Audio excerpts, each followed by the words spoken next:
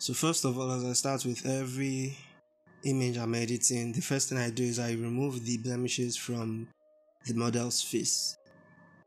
I've already done a lot of blemish removal before this, but I noticed some extra stuff that I wanted to remove. After that, I create my frequency separation layer. If you are curious about what I'm using, it is NBP FreqSep. Can't really remember the name. But basically, it's a couple of frequency separation layer presets using different blending modes, and you can also add your own custom made blend modes to the panel. It just makes things easier for me so I don't have to keep creating layers and blurring and everything. So what I do is I create the frequency separation layers, I turn off the texture layer and I just work with the blur layer. I like using brushes because it feels like I'm literally painting my subjects. So I sample from an area, get the color, and then with a very light brush with low opacity and fill, I just brush over the layers to smoothen out the skin tones and remove any discoloration in the skin. It's a pretty extensive process and it takes time, especially with the way I do it, but I prefer it this way because it gives me the best results. I know some people use the mixer tool and some people just literally blur the skin. But I only I majorly use the brush tool.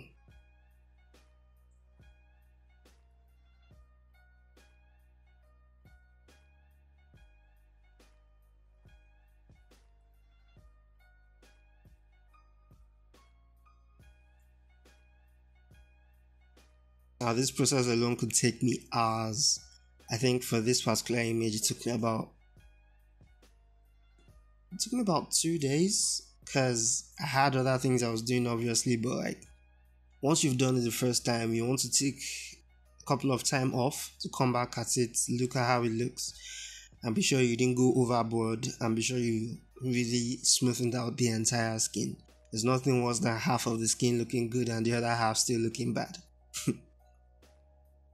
So I do under the eyes, I do the forehead, I do the cheeks, I do every single part of the skin except the eyes, the lips, and I try to avoid the eyebrow, but it's not always possible. So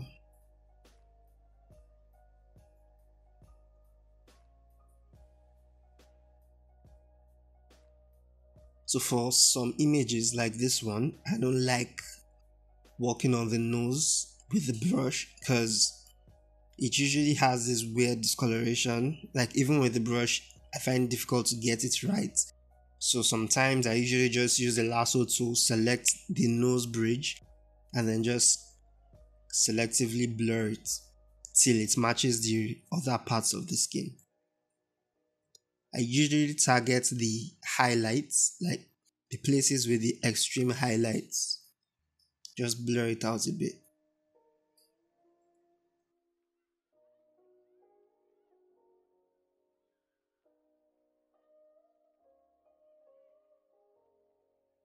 So now I take the brush tool and then just go over everything to make it blend even more.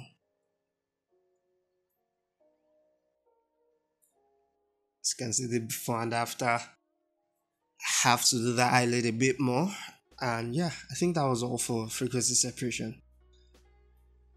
So now what I'm trying to do is mask out the skin because what usually happens is because I use the brush tool I tend to go outside the skin and it affects the hair and every other part of the image that isn't necessarily the skin.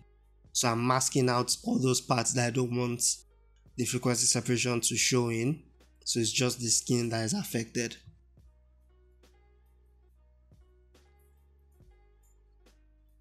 So now I'm dodging the image, basically making parts of the image brighter. And I usually use this method because it just feels easier number one. And number two it's not as if i can mistakenly affect areas i don't want to because basically what i want to do is to brighten up the brighter areas of the image. So i use the blend if option to take out the dark areas so i know wherever i brush over is just going to affect the bright parts of the image So for this particular spot on the face, I was having issues because I wasn't sure why it was looking distorted. But obviously, if I just calmed down to realize I put my blemish layer above my frequency separation layer, it would have saved me a lot of time. Okay, I've corrected that right now. So I put the blemish under the frequency separation layer and that fixes everything. So as you can see how smooth her skin looks right now. It's so amazing.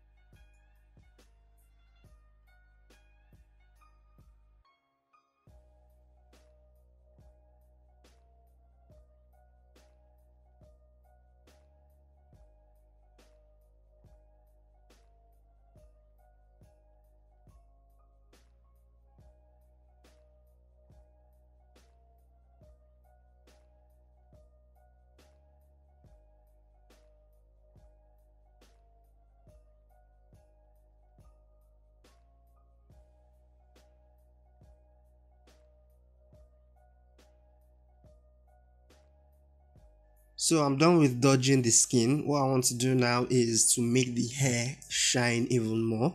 So it's basically the same thing as dodging, but it's just going to affect the hair. With my blend if option and everything, I'm trying to target just the hair.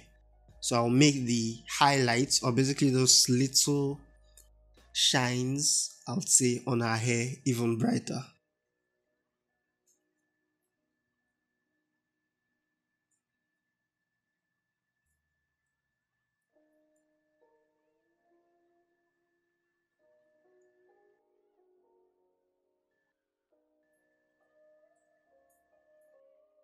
And then I just mask out areas I don't want the shine to come on.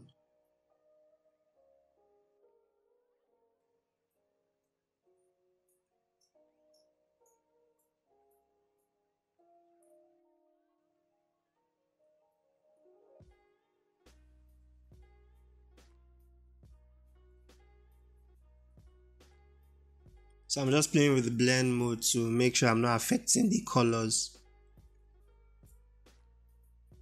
Oh, that was a nasty crack.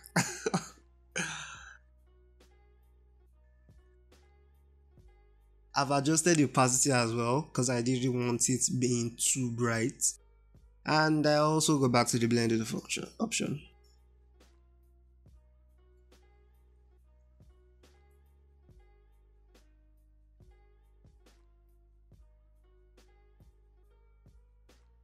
It's always a back and forth with this with every image I edit. It's always a back and forth. So now I want to retouch the eyes. I'm basically going to remove the veins, make the white parts whiter. basically, I'm just going to remove every form of discoloration in her eyes. And then I'll sharpen it and I'm going to add some highlights and catch lights to her pupils if you watch manga, Abby, if you watch anime, then you probably know what I'm talking about, like all those little white dots that you see in the blacks of people's eyes. So I'm going to try to artificially add it. Some images have it from the get-go. This did not, so I'm just going to add it myself.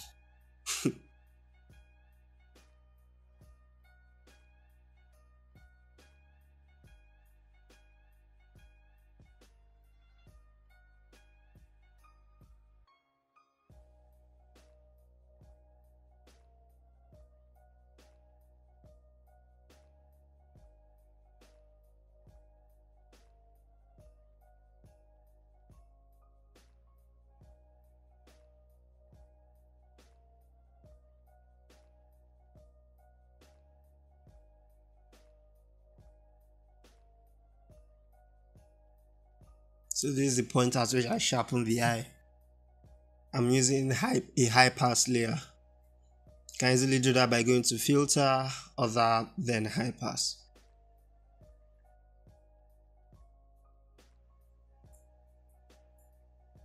I also use the opportunity to sharpen the lips.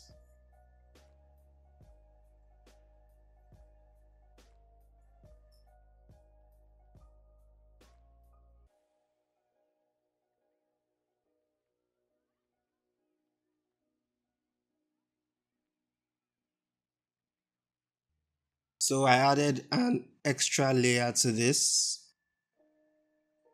A uh, um solid color adjustment and just make it white and I mask it to the eyes because I was trying to make the eyes really white and a bit brighter. So I just masked the solid color adjustment layer to the eyes and then adjusted the blending option and the opacity. As you can see, that makes a huge difference.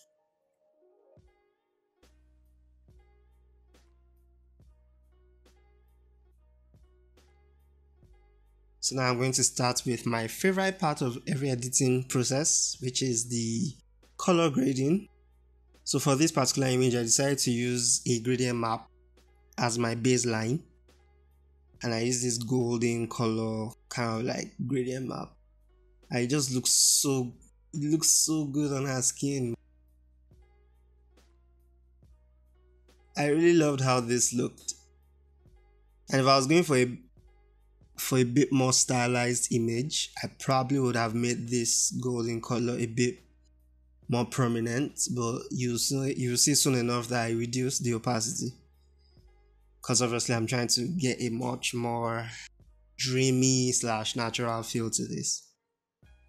So I just mask it to her skin so it doesn't affect other areas of the image. Remove it from her eyes, remove it from her lips, and yeah.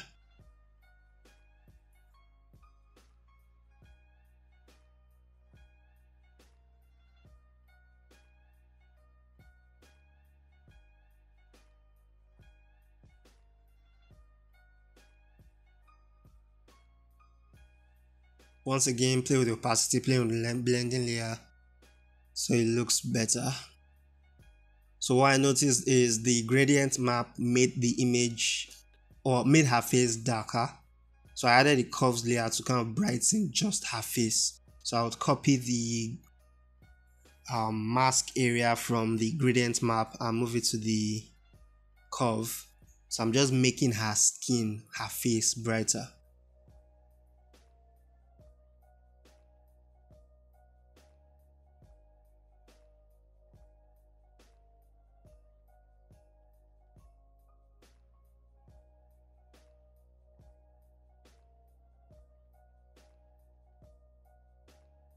So just makes the skin a little bit more golden.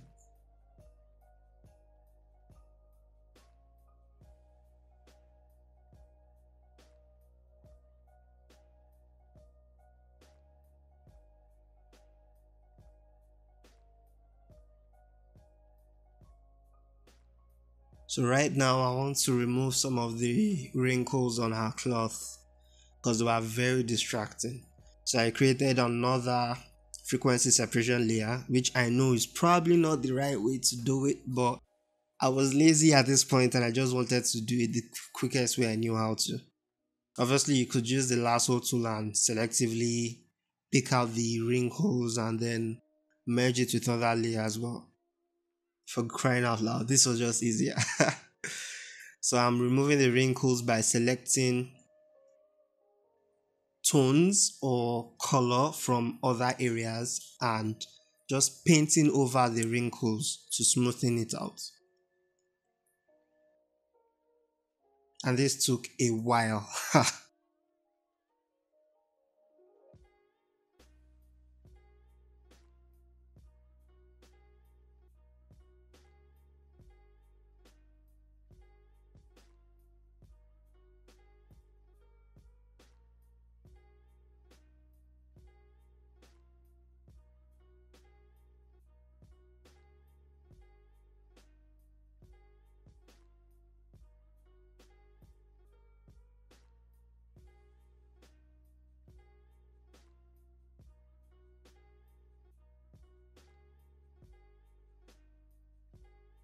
So now I'm just going to create an extra frequency separation layer just to smoothen it out a bit more.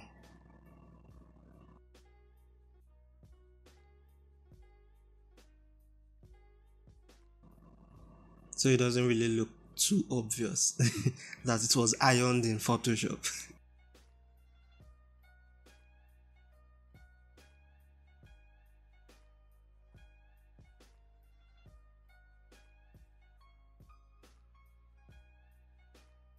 So this is where my own color grading starts. This is just a general color grade. So it's going to include the model and the background and everything. Just kind of like setting the mood for the whole picture.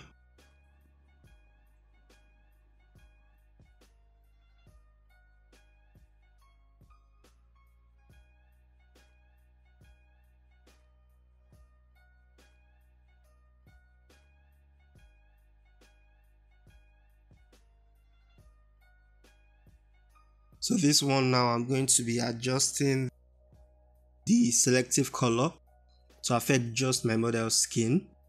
So what I'm going to adjust now will not affect the background, it will just affect her skin. So this is more of like a selective color grade.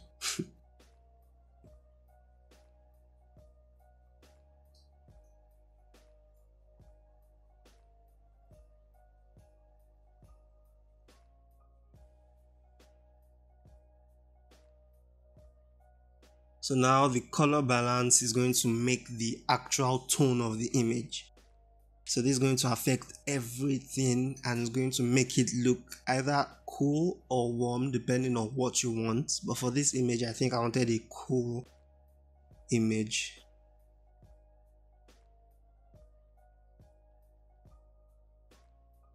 Still had to create some sort of color contrast. So for the shadows, I kind of made it made it to be to be warm, whereas the highlights is a lot more cooler. Added some more color balance. Okay, so that one was just for the skin.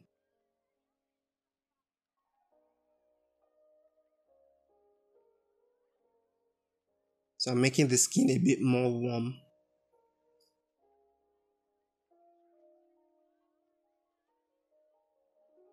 Piling on the contrast.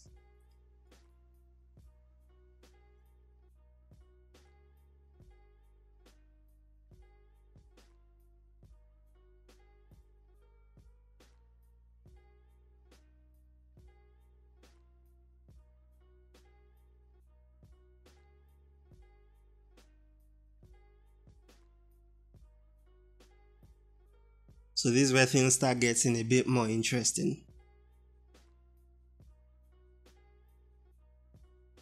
So the reason why I've turned all the groups to a smart object is because it makes Photoshop run faster the more layers you pile on. So I add my personal presets. This is what I've been using for probably over a year now.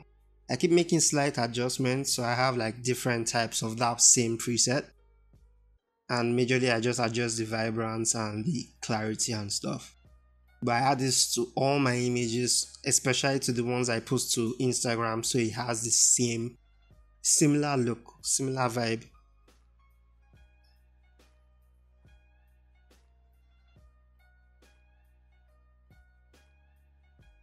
I'm going to be making it have this dreamy slash bloomy effect, and I really love this.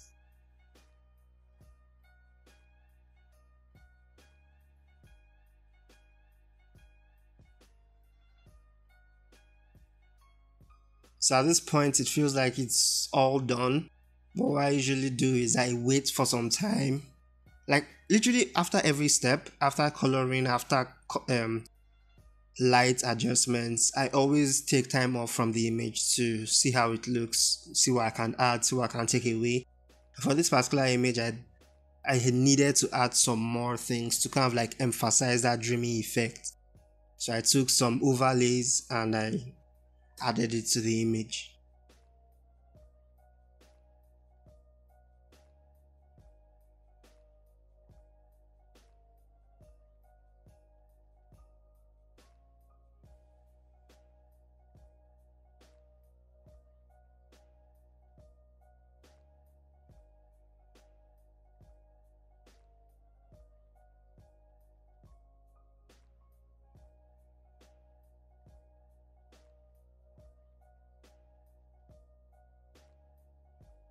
So right now I'm just playing with the color, the light, the blur and everything to kind of make it feel much more integrated with the image.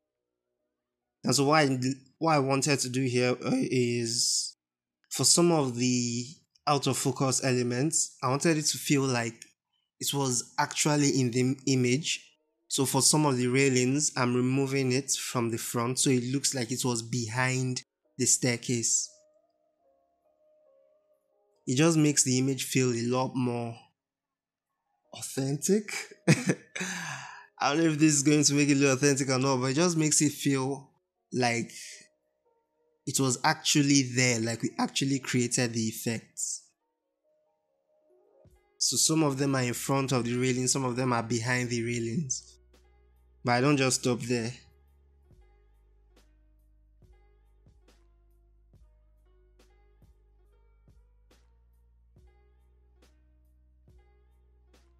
So what I'm doing now is the same way I added the dreamy effect or bloom effect to the actual image. I'm adding it to the overlay to kind of like blur it out a bit more because I didn't like how sharp it was looking.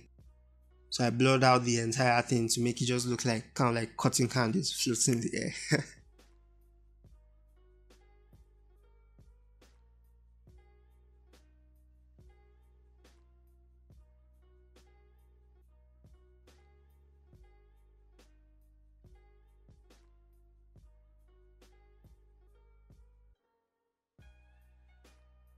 So now for a general dreamy effect, I'm adding this to the entire layer. And I just reduce the, opa the opacity.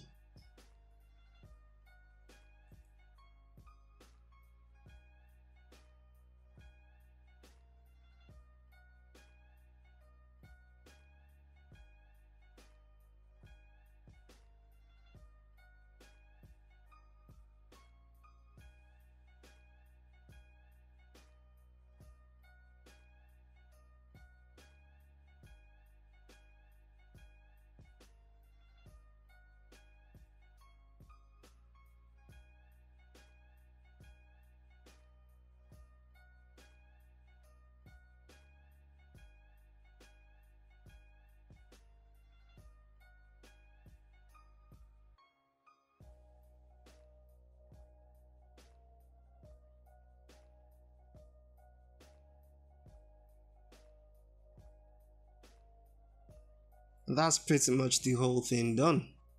Can see where we started from and where we ended.